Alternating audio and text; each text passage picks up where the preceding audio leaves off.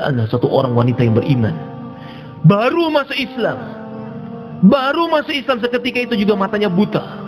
Maka butanya matanya tidak menyebabkan dia bergeming dari keimanannya dan usaha atas iman. Ketika dia mengatakan kepada beliau, Wazinirah, kamu telah dikutuk oleh Latta dan Uzza sehingga mata kamu buta.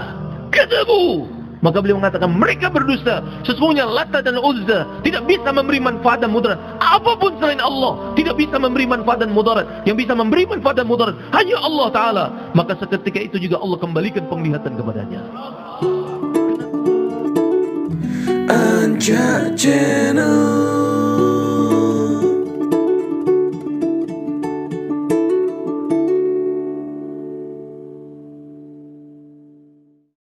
para alim ulama yang mulia, bapak-bapak hadirin yang dirahmati oleh Allah Subhanahu wa taala.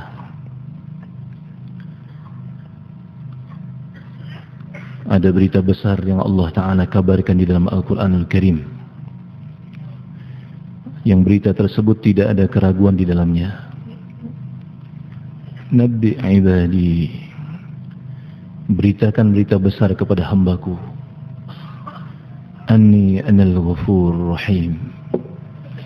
Sesungguhnya aku adalah maha pengampun dan maha penyayang. Wa anna adabi huwal adabul alim. Dan adabku adalah adab yang sangat pedih. Allah Jalla Sya'nu firmankan dalam Al-Quran Beritakan berita besar kepada hambaku bahwasanya aku adalah maha pengampun dan maha penyayang. Dan sesungguhnya azabku adalah azab yang sangat pedih. Sebelum Allah Ta'ala menyebutkan bahwasanya azabnya Allah Ta'ala itu sangat pedih. Dalam ayat tersebut dimulakan terlebih dahulu bahwasanya Allah Ta'ala itu maha pengampun dan maha penyayang. Lamma qadallahu al-khalq ketika Allah Ta'ala menetapkan penciptaan makhluk-makhluknya kataba fi kitabih Allah Ta'ala perintahkan untuk ditulis di lawhil mahfuz. Apa yang Allah perintahkan untuk ditulis? Inna rahmati ghalabat ghadabi. Sesungguhnya rahmatku mengatasi kemurkaanku. Dalam riwayat yang lain inna rahmati sabagat ghadabi. Sesungguhnya rahmatku mendahului kemurkaanku Sebetulnya sifat Allah Ta'ala itu sempurna semuanya. Tidak ada yang mengatasi satu sama lain. Karena semuanya sempurna. Tetapi kita dapati kesan yang nampak di hadapan kita betapa kasih sayang Allah Ta'ala itu begitu luar biasa. Luar biasa kasih sayang Allah Ta'ala. Bahkan satu di antara asma'ul husna. Allah Ta'ala itu adalah Al-Halim zat yang begitu bijaksananya la yu'jilu bil khataya zat yang tidak menyegerakan azab kepada hambanya. Padahal sebetulnya hamba tersebut sudah layak untuk mendapatkan azab dari Allah taala. Allah Subhanahu wa taala adalah zat yang Maha Pengasih dan Maha Penyayang. Begitu sayangnya Allah taala kepada hambanya ketika mendapati seorang hamba kembali kepadanya setelah hamba tersebut jauh darinya. Yang sebetulnya dirahmatkumullah seseorang yang kembali pada Allah Ta'ala juga adalah dengan taufik dari Allah Ta'ala. Tetapi begitu ridhonya Allah Ta'ala begitu senangnya Allah Ta'ala mendapati hambanya yang telah jauh darinya kemudian kembali kepadanya. Bahkan lebih ridho lebih senang daripada kegembiraan yang seseorang yang dia dalam perjalanannya menunggangi ontanya. Kemudian di atas ontanya tersebut ada persediaan makanan persediaan untuk safar dalam perjalanan. Kemudian singgah di satu tempat yang tidak ada sebab-sebab kehidupan. Dia tambatkan tali kendali ontanya. Dia singgah di tempat yang tidak ada sebab-sebab kehidupan. Tidak ada yang tinggal di sana tidak ada sebab-sebab kehidupan, tidak ada makanan, tidak ada minuman. Yang ada hanya onta bersamanya, yang ada makanan di atas unta tersebut dan minuman untuk safar. Kemudian dia beristirahat sejenak. Ketika dia terjaga dari tidurnya, maka ontanya sudah tidak ada lagi. Dia cari ke sana kemari. Dalam keadaan panas terik, tidak ada yang bisa ditanya, tidak ada yang bisa dimakan, tidak ada yang bisa diminum. Letih. Keadaan yang begitu susah. Kemudian akhirnya begitu letihnya dia sampai akhirnya dia terbaring dan kemudian tertidur sejenak dalam keadaan lapar yang luar biasa. Dan ketika terjaga maka dia dapati kembali ontanya ada di sampingnya. Maka begitu gembiranya orang tersebut, begitu senangnya orang tersebut. Dan seseorang itu ketika terlalu gembira kadang-kadang sulit untuk mengontrol pembicaraannya sulit untuk mengatur pembicaraannya. Dan begitu gembiranya sampai-sampai digambarkan dalam hadis. Begitu senangnya, begitu gembiranya, luapan kegembiraan yang luar biasa. Sampai dia salah berucap, yang maksudnya bukan seperti yang dia ucapkan.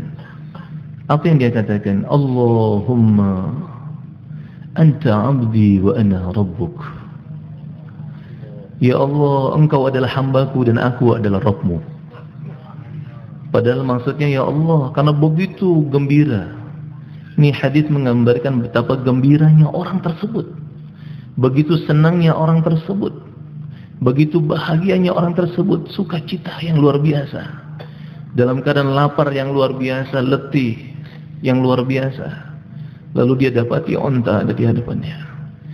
Yang masih ada makanan, minuman, Kemudian karena begitu gembira dia salah berucap, Ya Allah, engkau adalah hambaku dan aku adalah Rabbmu.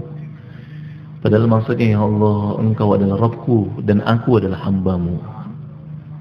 Maka Nabi SAW menjelaskan, bahwasanya Allah Ta'ala lebih ridha, lebih senang kama yaliku bisya'nih, lebih ridha ketika mendapati hambanya yang telah jauh darinya. Kemudian hamba tersebut kembali kepadanya lebih ridha daripada gembiranya orang tersebut mendapati kembali ontanya. Lalu kalau Allah Ta'ala begitu ridha dengan seseorang yang telah jauh darinya kembali kepadanya, bagaimana ridhonya Allah Ta'ala kepada seseorang yang berusaha agar setiap hamba Allah kembali kepada Allah Ta'ala. Oleh karena itulah kenapa para anbiya alaihi wasallam menjadi kekasih-kekasih Allah. Karena tidak ada keinginan mereka melainkan bagaimana seluruh manusia kembali kepada Allah. Kenal dengan Allah. Mengenal kehebatan Allah mengenal kasih sayang Allah keagungan Allah kesempurnaan Allah kesucian Allah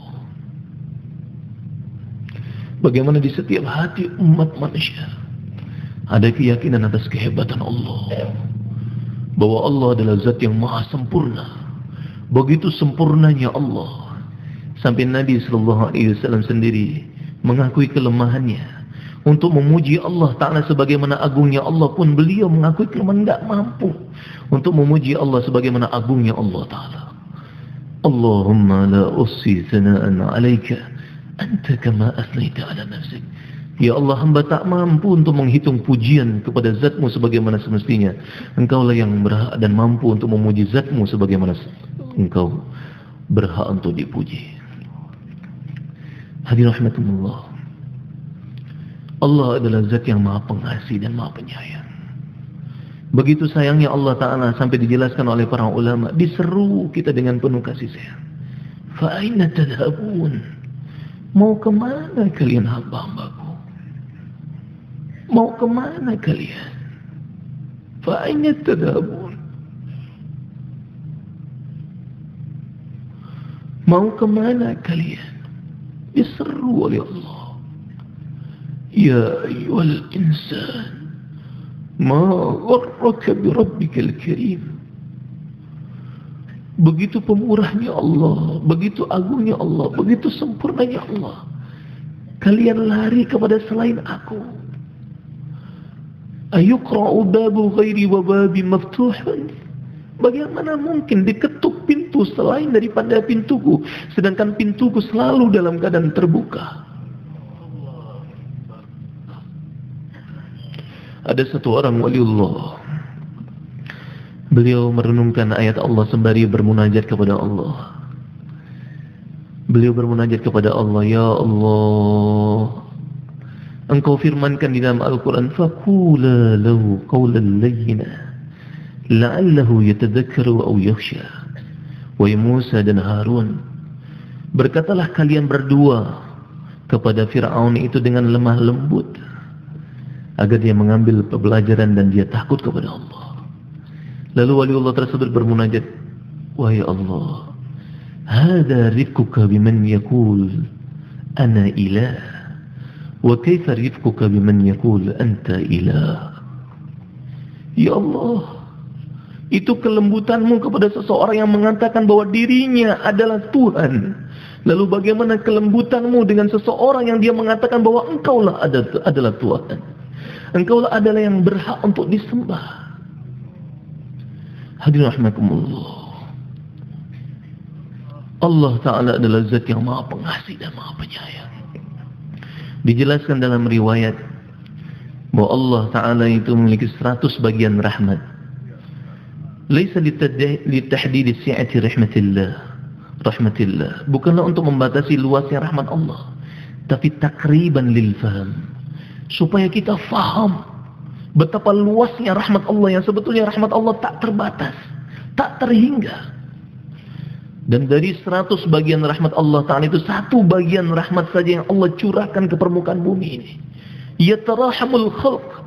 Makhluk-makhluk Allah saling berkasih sayang. Seorang ibu sayang kepada anaknya, seorang bapak sayang kepada anaknya. Seorang kakek sayang kepada cucunya. Coba kita cermati dan renung hadir mulia. Siapa kita ini dulu? Dari apa kita ini? Minha khalaqnakum wa fiha nu'idukum wa minha nukhrijukum taratan ukhra. Dari tanah kami ciptakan kalian. Kami kembalikan kalian ke tanah dan kami bangkitkan kalian dari tanah. Inna khalaqnal insana min nutfatin amsyaj. Kami jadikan kalian itu dari nutfah, dari air mani. Yang bercampur kita dari air mani. Tetapi dari air mani tersebut Allah jadikan satu sosok yang begitu indah yang disebut dengan manusia. Lahir kita dari rahim ibu kita masing-masing. Siapa yang meletakkan rasa kasih sayang kepada orang tua kita sehingga sayang kepada kita? Sukacita. Ayah kita gembira mengumandangkan azan Allahu Akbar. Allahu Akbar. Padahal dulu kita dari air mani. Sungkan seseorang malu mungkin seseorang mengenakan pakaian yang ada air maninya. Tapi kita asalnya dari air mani. Kemudian jadi sosok yang disebut dengan manusia. Dan kemudian Allah letakkan rasa kasih sayang kepada orang tua kita ketika melihat kita sayang kepada kita. Tapi kita lupa dengan Allah yang begitu sayang kepada kita. Ketika kita dihadapkan dengan sesuatu yang kita bicarakan selain Allah, kita lupa dan keluh lisan kita berbicara tentang kehebatan Allah.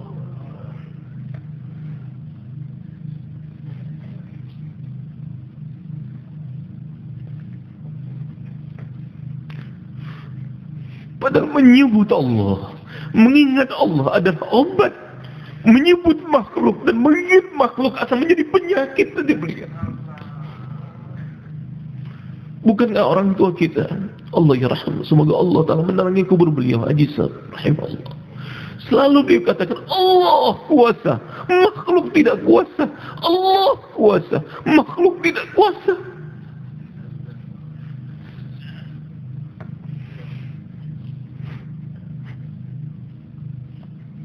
yatarahman makhluk Allah saling berkasih sayang. Bukan kebetulan nanti beliau enggak ada yang kebetulan dalam dunia ini dalam dunia ini. Kalau kita katakan sesuatu yang terjadi tiba-tiba maka rusak iman kita dia mulia. Ilmu Allah itu mencakupi segala sesuatu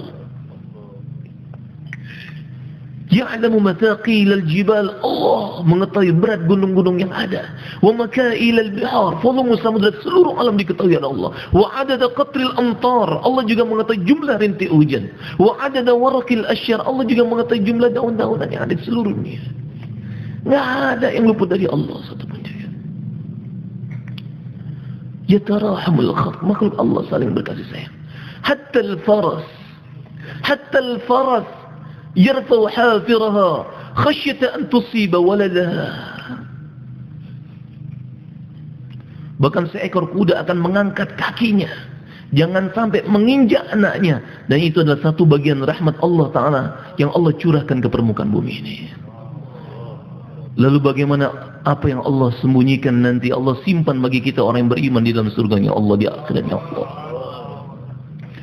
Maka dunia ini sebentar aja dimulia. Mau ngapain kita dimulia? Sekaranglah waktunya. Fa innal yawma 'amalun wala hisaba. Sekarang waktunya untuk beramal. Bukan waktunya perhitungan. Wa dan hisabun wala 'amala. Dan besok adalah waktunya perhitungan dan bukan waktunya beramal. Hadir rahimakumullah.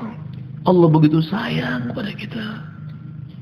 Sekawanan-tawanan perang dihadapkan kepada Nabi wasallam. Maka ada seorang ibu mencari-cari putranya ke sana kemari tidak didapati. Setelah dicari, dicari-cari akhirnya berjumpa. Ketika berjumpa dengan putranya, dipeluknya dengan kasih sayang, diciumnya dengan penuh kasih, dipeluknya lagi, diciumnya lagi. Dan kejadian tersebut terjadi di hadapan Nabi SAW dan sahabat Dan sahabat anhum menangis. Melihat sayangnya ibu tersebut kepada anaknya. Nabi bertanya, Wahai sahabatku, apa yang menyebabkan kalian menangis? Maka mereka mengatakan di ajli hanan hadil um ya Rasulullah. Karena sayangnya ibu itu kepada anaknya ya Rasulullah. Maka Nabi sallallahu alaihi wasallam bersabda, "Ataruna hadhihi tarihatan waladaha fin nar?" Bagaimana pendapat kalian? Apakah ibunya rela melemparkan anaknya ke dalam api? Maka sahabat menjawab tentu tidak ya Rasulullah. Maka Nabi sallallahu alaihi wasallam bersabda, "Lallahu arhamu bi'ibadihi min hadhihi biwaladiha." Sungguh Allah lebih sayang kepada hambanya lebih daripada sayangnya ibu tersebut kepada anaknya. Bahkan 70 kali, bahkan seluruh kasih sayang ibu dikumpulkan. Maka tidaklah bisa membandingi kasih sayang Allah Ta'ala. Laisa syai' Tidak ada yang menyamai Allah satupun juga dari makhluk-makhluknya Allah. Allah tidak mungkin menzalimi hambanya dimulia. Yang zalim itu hamba. Wama ana bidhallamil abid. Allah Jalla sya'nu firmankan dalam Al-Quran. Aku sama sekali tidak menzalimi hambaku. Ya ibadi, inni haramtu dhulma ala nafsi wa ja'altuhu bainakum muharrama fala tadhalamu. Wahai hamba-hambaku, sesungguhnya aku mengharamkan kezaliman atas diriku. Gak mungkin Allah zalim kepada hambanya. Yang zalim itu kita hambanya. Hadirin rahimakumullah Allah adalah zat yang maha pengasih dan maha penyayang. Dan bukti kasih sayang Allah Ta'ala yang terbesar dan mulia. Allah berikan agama kepada kita. Allah berikan ad-din kepada kita. Agama. Dan agama bukan hanya solusi akhirat. Tapi juga solusi dunia dan akhirat. Ad-din, agama adalah bukti kasih sayang Allah Ta'ala yang terbesar kepada hambanya. Hari ini orang dia enggan mengamalkan agama karena dia berpikir bagaimana nanti dunia saya. Padahal hadirin rahimakumullah seseorang ketika menempuh jalan menuju ridhonya Allah, ketika menempuh jalan menuju surganya Allah taala belum di surga, cerminan kehidupan surga dia akan rasakan dalam kehidupan di dunia ini. ketenangan, kedamaian, ketentraman. Tidak terkesan dengan suasana dan keadaan. Kenapa dia melihat? Karena dia dalam naungan Allah. Karena dia bersama Allah. Lihat bagaimana sahabat anhum. Keadaan yang begitu mencekam. Wabalagatil qulubul hanajir. Hati sudah sampai ke kerongkongan. Kinayatun anil faza. Keadaan begitu mencekam. Tetapi pandangan mereka tertuju apa yang menjadi tanggung jawab mereka. Kerja mereka, mereka fokus dengan kerja. Bagaimana keadaan, maka mereka serahkan kepada Allah Ta'ala. Bukan sibuk bicara tentang keadaan, tapi buat kerja. Pada waktu itu dikepung Nabi sallallahu alaihi wasallam dan sahabat anhum. Tapi menakjubkan hadirin rahimakumullah. Hati sudah sampai kepada kerongkongan kinayatun anil faza. Keadaan begitu mencekam sekali. Musuh dari berbagai macam arah. Mereka bersekutu untuk menyerang Nabi SAW dan sahabat lain. Tapi menakjubkan sahabat. Mereka menggali parit. Sembari mereka menyenandungkan nahnu alladhina bay'u Muhammada 'ala al-islam ma baqina abada. Kami adalah hamba-hamba Allah taala yang telah berjanji setia kepada Muhammad sallallahu alaihi wasallam untuk selalu memperjuangkan agama selagi hayat masih di kandung badan. Di dalam hayatus sahabah menajubkan ini mulia ada satu peristiwa pada waktu itu di mana ada ter terjadi gesekan di antara orang muhajirin dan ansar. Sehingga orang-orang munafik telah membuat makar dan mengungkapkan perkara-perkara yang tidak selayaknya setelah dilerai antara muhajirin dan ansar dan kemudian mereka seperti sedia kala. Kemudian orang-orang yang punya penyakit dalam hatinya orang-orang munafik lalu mereka mengatakan la yukhrijunna al-'azzal min al-azal bahwasanya nanti orang-orang yang mulia akan mengusir mereka-mereka yang hina dari Madinah. Maksudnya mereka mengatakan kami akan mengusir Muhammad sallallahu alaihi wasallam dan para sahabat Muhajirin dari Madinatul Munawwarah. Sehingga sahabat pada waktu itu di antara Sayyidina Umar anhu maka beliau ketika itu hadirin rahimakumullah mengatakan kepada Nabi SAW ya Rasulullah da'ni adrib udhun unuqah ya Rasulullah biarkan aku menebas lehernya itu Abdullah bin Ubay bin Salul yang telah mengatakan itu aku tebas lehernya. Nabi SAW sabdakan, Wahai Umar, apa kamu akan buat? Iya ya Rasulullah. Kalau begitu kamu duduk. Kemudian Usaid bin Hudair juga mengatakan yang sama. Kalau begitu kamu duduk. Kemudian apa yang dibuat oleh Nabi? Maka Nabi meletih-letihkan mereka dalam perjalanan yang letih. Tiga hari, tiga malam di mulia. Ketika mereka sudah melalui panas yang sangat terik. Dan apabila singgah di satu tempat, maka mereka melihat tanah itu seperti kita hari ini ada ungkapan kalau sudah melihat kasur itu, inginnya tidur aja. Maka pada waktu karena letih yang luar biasa, kalau mereka melihat tanah, mereka ingin istirahat karena begitu letih yang luar biasa. Dan apa maksud Nabi? Supaya mereka tidak terlalu banyak bincang-bincang masalah itu lagi, tapi bagaimana mereka fokus dengan kerja. Dan Maulana Yusuf rahimahullah beliau menjelaskan istisal fitnah untuk mencabut akar fitnah dari sedalam-dalamnya, sehabis-habisnya adalah dengan kerja dan berjuang dan perjalanan di jalan Allah Subhanahu wa taala. Jadi hadirin rahimakumullah, agama solusi dunia dan akhirat. Kerja agama solusi dunia dan akhirat. Dan diadakan pertemuan ini adalah maksudnya itu hadirin mulia. Bagaimana kita ini seperti para sahabat mereka ketika dikepung enggak kesan. Mereka katakan nahnu alladhina bay'u Muhammada 'ala al-islam ma baqina abada. Kami adalah hamba-hamba Allah yang berjanji setia kepada Muhammad SAW untuk memperjuangkan agama selagi hayat masih di kandung badan. Jadi hadirin rahimakumullah, perjalanan kisah para anbiya alaihi wasallam menjadi pelajaran bagi kita arah pandangan mereka itu tertujunya ke mana? Nabi Musa alaihissalam di hadapannya lautan, di belakangnya Firaun dengan bala tentara yang begitu kuat. Tapi Nabi Musa alaihissalam tidak kesan dengan keadaan. Tidak berlandaskan kepada pengalaman dan sebagainya. Tidak. Beliau juga punya kekuatan dan mulia. Kekuatan seorang Nabi berlipat-lipat ganda kepada kekuatan laki-laki yang paling kuat selain daripada peran Nabi. Tapi beliau tidak berlandaskan, tidak menyandarkan dirinya pada kekuatan tangannya. Tapi menyandarkan kepada apa yang difirmankan Allah Apa hukumnya Allah. Bani Israel sudah ketakutan. Nabi Musa AS mengatakan, Kalla, inna ma'i rabbi sayadin. Sekali-kali tidak. Kita tidak akan ditawan. Bani Israel sudah mengatakan innal mudrakun, kita akan ditawan, kita akan ditangkap ini. Kalla, tidak, tidak. Inna ma'i rabbi sayahdin. Sesungguhnya Allah bersamaku yang akan memberikan petunjuk kepadaku. Jadi memberikan petunjuk itu adi rahmatullah bukan hanya ditunjukkan, oh kamu lurus, nanti ke kanan, nanti ke kiri, terus lagi sampai ke tempat. Tidak, tapi dibimbing Nabi mulia. Mari sama saya, terus ikut saya, terus nanti ke kanan, terus lagi ke kiri, terus lagi nanti sama-sama saya sampai ke tujuannya. Kalau kita di rahmatullah telah memutuskan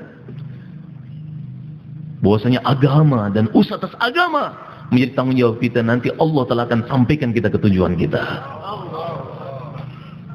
Allah bersama kita. Kalau kita punya semua tapi Allah tidak bersama kita sifar dimulia bahkan minus. Nggak ada apa-apa. Jadi hati rahmatullah bukti kasih sayang Allah Ta'ala yang terbesar adalah Allah Ta'ala hantarkan agama. Dan agama adalah untuk kebahagiaan kita dunia dan akhirat. Hari ini orang menga takut mengamalkan agama karena khawatir nanti bagaimana dunia saya. Padahal kalau seseorang itu mengamalkan agama belum di surga, tapi cerminan kehidupan ahli surga dia akan rasakan dalam kehidupan dunianya. Hujibatil jannatu bil makarih. Surga itu ditirai dengan perkara-perkara yang tidak sesuai dengan hawa nafsu. Dulu para sahabat telah menyingkap tabir surga dengan menekan hawa nafsu. Bahkan para ulama ada yang menjelaskan hakikat yang sebenarnya. Anas bin Nadar Allah anhu beliau telah katakan, aku telah mencium wanginya surga di balik Uhud dan itu hakikat bukan seolah-olah. Kenapa dimulia? Karena tabirnya telah dibuka sepenuh-penuhnya. Kalau saya dan kita ini masih buka tutup dimulia. Kalau mereka sudah dibuka betul. Sehingga tidak heran. Diberikan kebahagiaan bagi mereka. Walaupun dalam keadaan sesuatu yang susah. Berat. Tadi lihat. Sahabat dikepung. Baqina abada. Nabi senang dengan apa yang dilontarkan oleh para sahabat, kegigihan para sahabat, ketidakterkesanan para sahabat dengan keadaan yang ada pada waktu itu. Tetapi, tetapi mereka fokus dengan kerja dan tanggung jawab mereka. Karena mereka memahami al-ma'unatu ala qadril ma'unah. Pertolongan Allah itu sejauh mana ditunaikan tanggung jawab adilnya. Maka Nabi SAW begitu gembira. Lalu Nabi SAW berdoa, Allahumma innahu la aisha illa aishul akhirah, fabarik fil ansari wal muhajirah. Ya Allah tidak ada kehidupan yang sebenarnya, melainkan kehidupan akhirat. Berikan keberkahan bagi orang ansar dan orang muhajirin. Jadi hadir rahmatullah Nabi sallallahu alaihi wasallam sabdakan bahwasanya surga itu ditirai dengan perkara yang tidak sesuai dengan hawa nafsu. Tapi di balik kita ada surganya Allah taala. Kalau kita pergi ke gunung salju, pernah saya di rahmatullah di Pakistan itu ketika musim panas kita taskilnya ke daerah Naran, naik ke atas. Padahal di tempat yang lain itu musimnya musim panas. Tapi di tempat tersebut masih ada esnya. Dingin luar biasa. Maka ketika kita naik ke sana, kita buka jendela mobil, maka semakin mendekat apa yang kita rasakan kira-kira Pak? Dingin. Semakin dekat, semakin dingin. Semakin dekat, semakin dingin. Semakin dekat, semakin dingin. Semakin dekat, semakin dingin. Seseorang yang menempuh jalan ridhonya Allah Ta'ala dengan menekan hawa nafsunya. Semakin dia tekan hawa nafsunya, maka semakin terasa cerminan kehidupan ahli surga dalam kehidupannya di dunia ini. Dan itulah yang didapati dalam kehidupan para anbiya alaihi wasallam, kehidupan para sahabat anhum. Bahkan Sayyidina Abdurrahman bin Auf radhiyallahu anhu beliau mengatakan inna wajadna khairal khairi fil qur'i.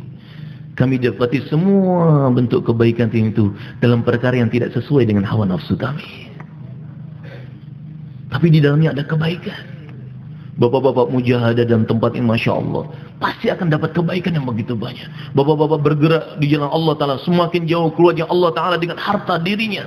Semakin jauh. Kemudian jalan kaki keluarnya Allah Ta'ala semakin berat. Maka semakin banyak kebaikan yang Allah akan berikan kepada kita.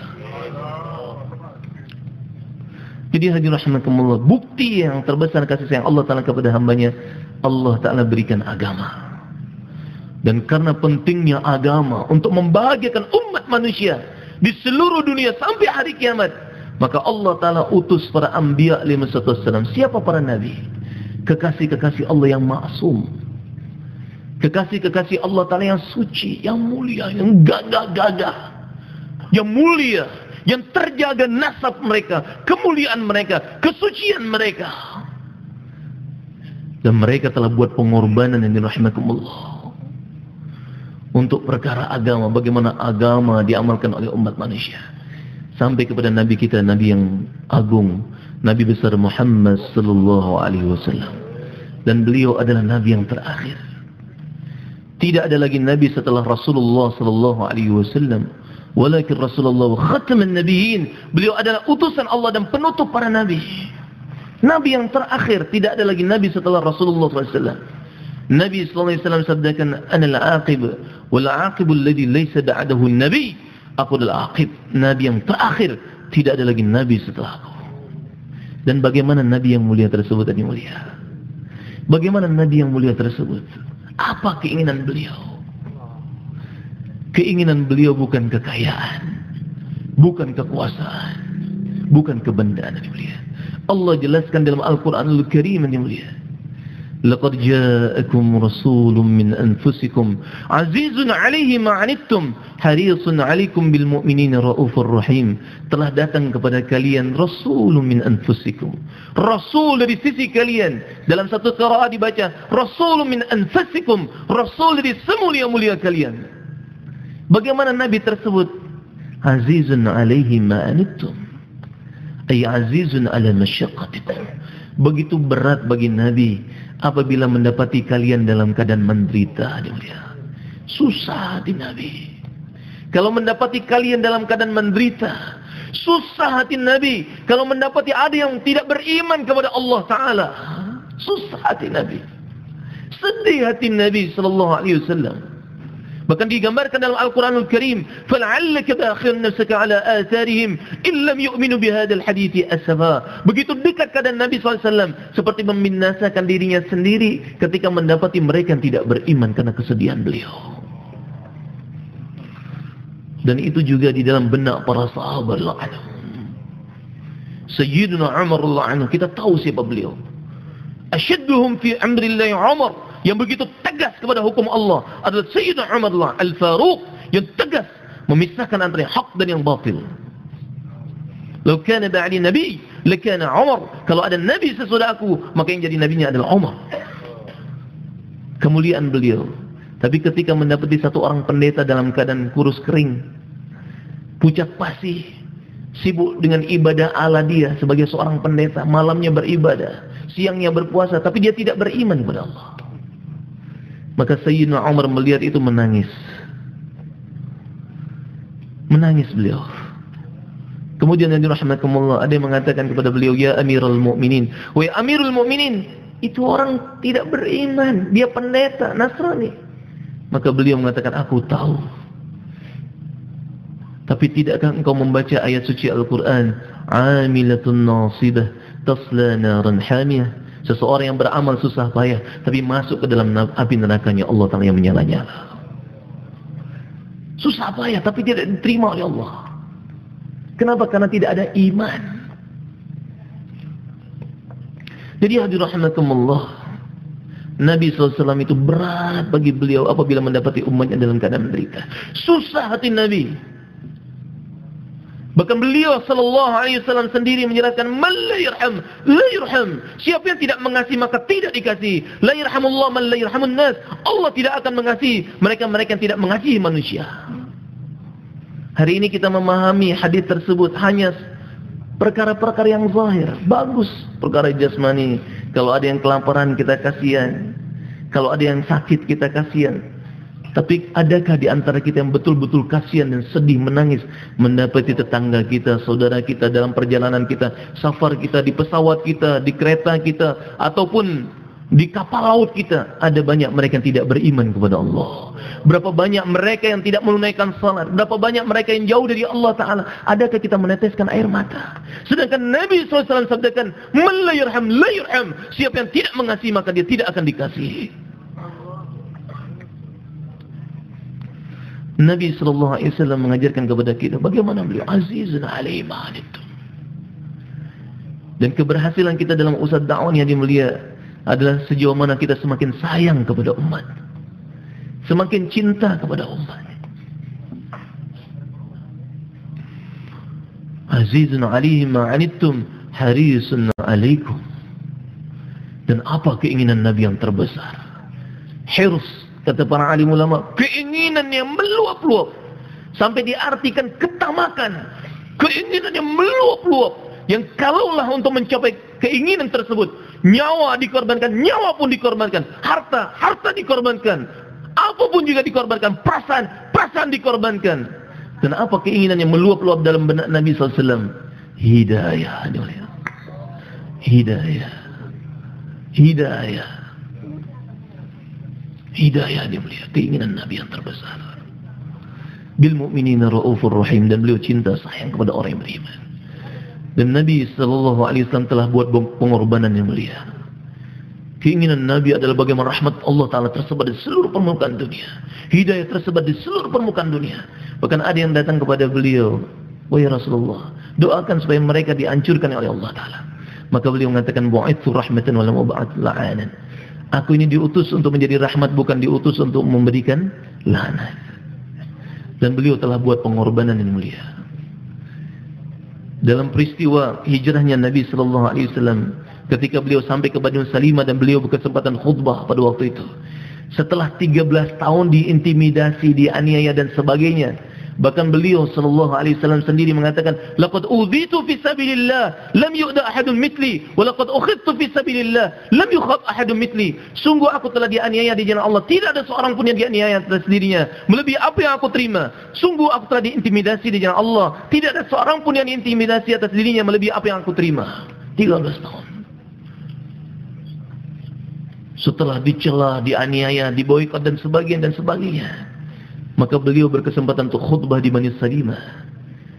Seseorang ketika sudah, Masya Allah, diberikan kesempatan untuk naik ke mimbarnya. Setelah ditekan begitu, diintimidasi selama bertahun-tahun. Kira-kira apa yang akan disampaikan seseorang yang telah ditekan selama itu? Tapi berbeda dengan Nabi Sallallahu Alaihi Wasallam. 13 tahun dianiaya dan sebagainya. Ketika beliau berkesempatan untuk khutbah pertama kali, maka yang tercatat dalam sejarah nasihat Nabi, wasiat Nabi sallallahu alaihi wasallam adalah untuk bertakwa kepada Allah.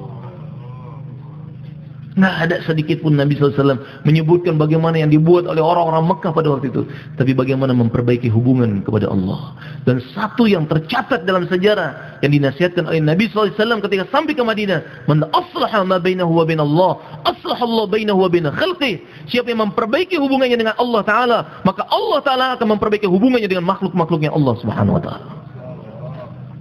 Dengan laut akan diperbaiki oleh Allah. Dengan langit dengan akan diperbaiki oleh Allah Ta'ala. Dan seluruh makhluk apa pun bentuknya. Kalau kita memperbaiki hubungannya dengan Allah. Hubungan kita dengan Allah. Maka Allah akan perbaiki semuanya. Keadaan akan diperbaiki oleh Allah Ta'ala. Nah rahimakumullah. Nabi yang mulia. Adalah Nabi yang terakhir. Tidak ada lagi Nabi setelah Rasulullah SAW.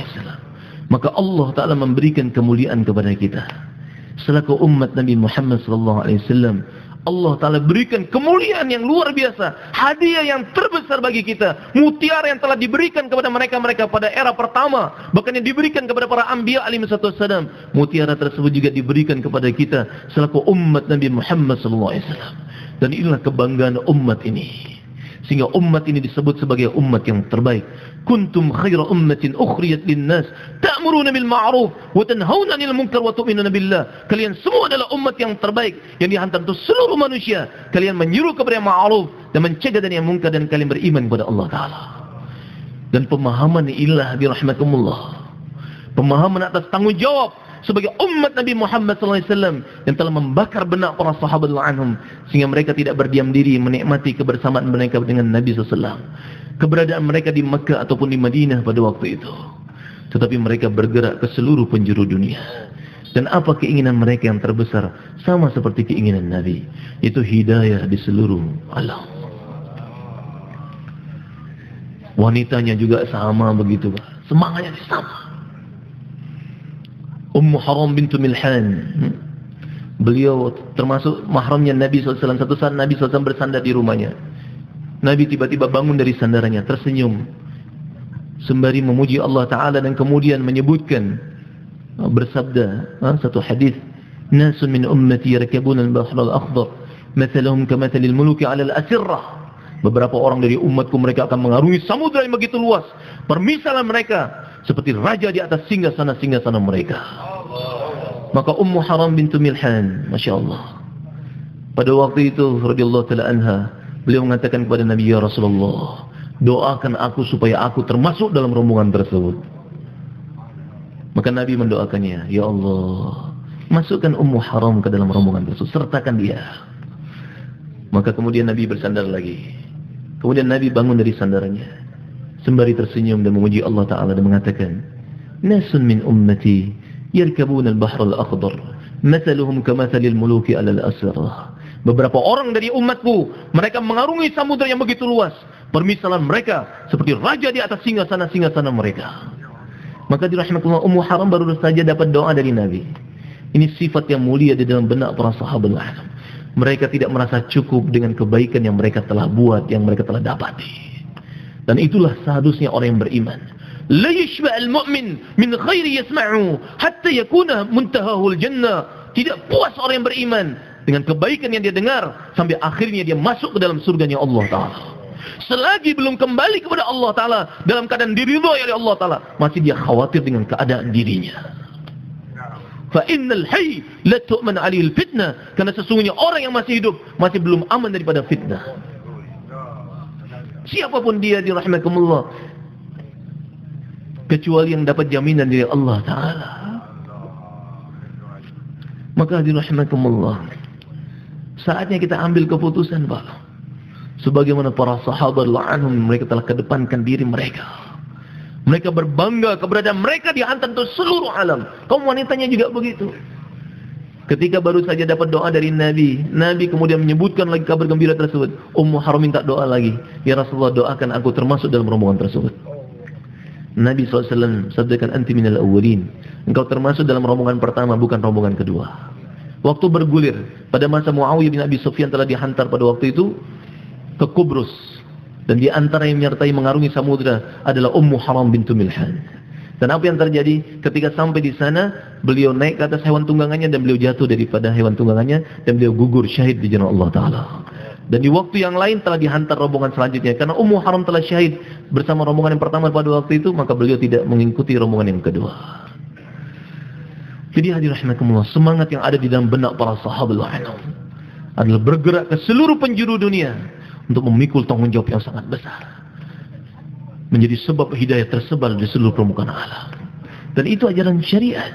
Coba kita lihat, kita doa bukan ihdini siratal mustaqim. Bahkan ihdinas siratal mustaqim. Ihdina. Allah mahdina wahdi bina waj'alna sababan liman ittada. Bukan hanya kita mendapatkan hidayah, tapi bagaimana kita menjadi sebab hidayah dan bagaimana mereka yang mendapatkan hidayah juga dengan sebab kita. Dan itulah yang dibenak para sahabat wa'an sehingga mereka bergerak ke seluruh permukaan dunia. Dan berkah pengorbanan mereka sampailah Islam di Sulawesi ini juga. Dan kita ada pertemuan seperti ini pun adalah karena pengorbanan mereka yang terdahulu. Dan dari Sulawesi juga telah dihantar Masya Allah oleh Allah Ta'ala. Satu orang ulama besar pada zamannya, Syekh Yusuf Makassari. Dan beliau oh, pada waktu itu berdakwah ketika diasingkan sampai ke Cape Town, South Africa sana. Islam pun sampai di sana. Beliau. Dan inilah buah pengorbanan para sahabat lain. Dan usan dumuah ini yang mulia adalah keberhakan setiap individu umat. Siapa pun dia, penduduk kota kah dia ataupun desa, terpelajarkah dia atau yang tidak mengecap pendidikan, siapa pun dia berhak untuk melanjutkan usaha Nabi. Bahkan dahulu anak-anak kecil mereka menyijitkan kaki-kaki mereka supaya terlihat lebih tinggi agar bisa disertakan untuk memperjuangkan agama Allah Taala. Kalau anak kecil mereka seperti itu, lalu bagaimana kita yang sudah besar-besar ini, Mbak Masya Allah. Nah, hadir rahmatullah. Sudah saatnya nih melihat. Sudah waktunya. Kapan lagi Pak? Badiru bil amal. Bersegeralah untuk beramal fitanan ke qita'in lil mudlim. Sebelum datang fitnah seperti malam gelap gulita. Yusbihur rajul mu'minan wa yumsi kafira. Seseorang di pagi harinya beriman, sore harinya kafir. Wa yumsi mu'minan wa yusbihu kafira. Sore harinya beriman, pagi harinya kafir. Yabi'u dinahu bi'aradi minad dunya. Karena dia telah jual agamanya demi secebis daripada kebendaan dunia. Lihat bagaimana Rasulullah SAW mencontohkan kepada kita. Untuk kebaikan berlomba-lomba, bersegera. Untuk agama jangan lihat yang di bawah kita, lihat para sahabat lah. Lihat bagaimana Nabi SAW Lihat bagaimana sahabat lah. Sehingga kita tidak merasa sudah berbuat apa-apa. Sebelum sebetulnya kita masih belum apa-apa dilihat. Dibandingkan dengan para sahabat anum. Walaupun kalaupun kita sudah berkorban besar juga nilainya di sisi Allah Ta'ala. Tapi kalau dibandingkan dengan para sahabat anum belum apa-apa. Lihat bagaimana Nabi SAW mencontohkan pada kita untuk bersegera dalam kebaikan. Salat asar Nabi SAW berjamaah pada waktu itu. Setelah asar beliau bergegas pulang ke rumah. Sehingga timbul di benak para sahabat anum pertanyaan, kenapa Nabi bergegas pulang ke rumah tidak seperti biasanya? Dan pertanyaan di benak para sahabat karena kekhawatiran mereka dengan keadaan Nabi SAW. Dan Nabi memahami itu dan menjadi satu sunnah Nabi SAW. Ketika ada sesuatu menimbulkan pertanyaan, maka jelaskan supaya tidak lagi timbul pertanyaan. Maka dirahmatullah, sahabat itu khawatir dengan keadaan Nabi karena kecintaan mereka yang begitu luar biasa kepada Nabi. Tapi Nabi ingin menjelaskan satu sunnah. Ketika ada sesuatu yang menimbulkan pertanyaan, jelaskan sejelas-jelasnya supaya jelas apa yang terjadi yang sebenarnya. Maka Nabi wasallam menjelaskan, kenapa beliau bergegas pulang ke rumah? Zakartu syai'an min tibrin indana, fakarihtu yahbisani fa amartu bi qismatih. Aku teringat tibr setelah salat aku teringat ada tibr qit'atu min ad-dhahab wal fiddah, lempengan emas ataupun perak itu masih ada di rumah, belum dibagikan di jalan Allah. Dan aku khawatir aku belum aku meninggal dunia sedangkan lempengan tersebut belum dibagikan di jalan Allah Taala. Fafirru ilallah. Bersegeralah menuju Allah. Fastabiqul khairat. Berlomba-lombalah dalam kebaikan. Lihat bagaimana sahabat anhum.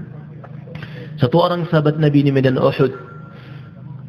Beliau bertanya kepada Nabi SAW dalam keadaan lapar, kurma ada di tangannya. Maka beliau bertanya kepada Nabi SAW, Ya Rasulullah, Ara'aita in kutiltu fa ina ana? Ya Rasulullah, kalau aku terbunuh di medan Uhud ini, maka aku akan berada di mana ya Rasulullah? Maka Nabi sallallahu alaihi wasallam bersabda, "Fil jannah." Fil jannah, kamu akan berada di surga. Sahabat tersebut dalam keadaan lapar, Pak. Lapar yang luar biasa. Kurma ada di tangannya, sudah siap untuk disantap. Ketika Nabi SAW sabdakan fil jannah kamu akan berada di surga. Apa yang dibuat oleh sahabat tersebut? Fa'alqat tamaratkunna fi. Langsung dilemparkan kurma yang ada di tangannya dan kemudian maju ke kancah musuh dengan penuh keberanian dan beliau gugur di medan Uhud ini mulia. Bersedia semua insyaallah seperti sahabat. Lihat bagaimana sahabat Abu Dahdah anhu, Masya Allah. Baru saja diperdengarkan ayat oleh Nabi, "Man dalladhi yuqridu Allah qardan hasana, fayudha'ifahu lahu wa ajrun karim."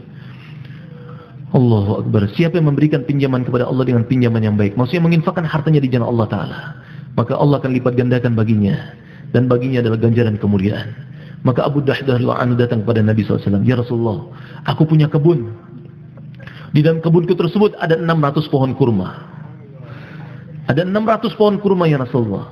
Aku belanjakan semuanya di jalan Allah. Aku berjanji setia kepadamu, kepadamu ya Rasulullah. Ulurkan kedua belah tanganmu ya Rasulullah. Aku berjanji untuk menginfakkan kebun tersebut di jalan Allah Ta'ala. Maka beliau bergegas menuju kebunnya. Dari kejauhan beliau melihat istri dan putranya. Maka beliau tanpa menunda sedikit pun mengatakan kepada istrinya, Ya Ummu Dahdah, Wai Ummu Dahdah. Sesungguhnya kebun itu sudah dibelanjakan di jalan Allah Ta'ala. Lalu apa kata istrinya? Istrinya pun Masya Allah, masrat sejati Pak, Masya Allah. Tidak dikatakan enggak musyawarah dulu bang, coba musyawarah dulu bang. Lalu apa yang dikatakan istrinya? Ya Abu Dahda Wahai Abu Dahda Rabihal bay' Wahai Abu Dahda Ini perdagangan yang menguntungkan. Maka kurma yang ada di tangan diletakkan di kebun tersebut. Kurma yang ada di mulut anaknya Yang ada di putranya Yang ada di tangan putranya di Diletakkan di kebun tersebut. Sembari mengatakan Wahai putraku Sesungguhnya kebun ini sudah dibelanjakan di jalan Allah Ta'ala. Dan inilah maksud daripada usaha nubuah Bagaimana muncul lagi sosok-sosok seperti para sahabat. Dan inilah keinginan dari Syekh Ilyas rahimahullah. Bagaimana laki-lakinya seperti sahabat. Wanitanya seperti sahabiah. Dan usaha nubuah ini bukan berlandaskan kepada kobiliat. Bukan kepada kebisaan, tidak. Tetapi berlandaskan kepada kobuliat. Dan tuan-tuan mulia Masya Allah. Dengan pengorbanan dari berbagai macam tempat. Tuan-tuan lebih banyak pengorbanan dari saya. Tetapi apalah yang hendak dikata karena sudah dimusyawarahkan kita mesti tahan. Tetapi hadirin rahimakumullah, saya dan kita semua duduk bersama di sini adalah bagaimana kita diterima oleh Allah. Bagaimana kita diterima oleh Allah. Dan kapan kita akan diterima oleh Allah? Kalau kita kedepankan diri kita, mulia. Mentaqaddam qaddam Allah. Siapa yang kedepankan dirinya, Allah akan kedepankan dia. Kenapa para sahabat Allah dipilih oleh Allah? Karena mereka menepis, menepis apa saja yang akan terjadi di hadapan mereka. Yang ada di hadapan mereka adalah tanggung jawab agama, agama dan tanggung jawab agama. Sehingga mereka tidak hiraukan apa pun juga. Sehingga menakjubkan iman mereka. Sehingga menakjubkan keyakinan mereka. Karena mereka betul yakin dengan firman Allah dan sabda Nabi. Zinnirah radhiyallahu taala anha satu orang wanita yang beriman. Baru masuk Islam. Baru masuk Islam seketika itu juga matanya buta. Maka butanya matanya tidak menyebabkan dia bergeming dari keimanannya dan usaha atas iman. Ketika dia mengatakan kepada beliau, "Wazinirah, kamu telah dikutuk oleh Latta dan Uzza sehingga mata kamu buta." Katamu, maka beliau mengatakan mereka berdusta. Sesungguhnya Lata dan Uzza tidak bisa memberi manfaat dan mudarat. Apa pun selain Allah tidak bisa memberi manfaat dan mudarat. Yang bisa memberi manfaat dan mudarat hanya Allah Ta'ala. Maka seketika itu juga Allah kembalikan penglihatan kepadanya. Kenapa Allah Ta'ala berikan keimanan seperti itu dia mulia? karena mereka telah tepis semuanya. Mereka tidak hiraukan apa pun juga yang terjadi dan mereka yakin dengan janji Allah. Walladzina jahadu fina lanahdiyannahum subulana wa innallaha ma'al muslimin. Siapa yang bersungguh-sungguh di jalan kami, pasti dan pasti kami akan memberikan jalan-jalan hidayah. Kami akan sampaikan kepada tujuannya yang Allah Taala akan ridha kepadanya. Hadirin rahimakumullah, sudah saatnya. Kapan lagi hadirin rahimakumullah? Alam ya'minil ladina amanu an takhsha'a qulubuhum li dzikrillah. Tidakkah telah dekat masanya bagi orang yang beriman untuk khusyuk dalam taat kepada Allah, untuk khusyuk dalam berzikir kepada Allah Taala. Lihat bagaimana Nabi SAW dan sahabat mencontohkan pada kita. Orang-orang yang soleh yang terdahulu, mereka telah kedepankan diri mereka untuk agama. Sekarang tiba giliran kita yang lihat. Sudah tiba masanya bagi kita untuk mengedepankan diri kita. Semua kita bersedia insya Allah Pak. Unjudgmental.